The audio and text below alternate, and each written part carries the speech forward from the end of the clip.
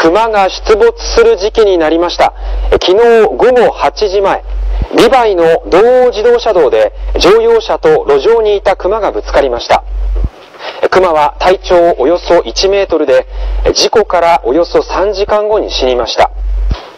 乗用車を運転していた男性に怪我はありません。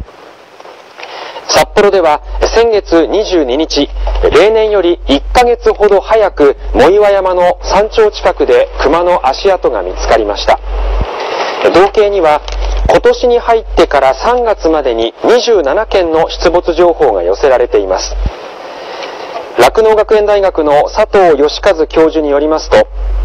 道内は3月中旬になるとヒグマが活動を始めるため、ハイキングなどで山に入る際には注意が必要です。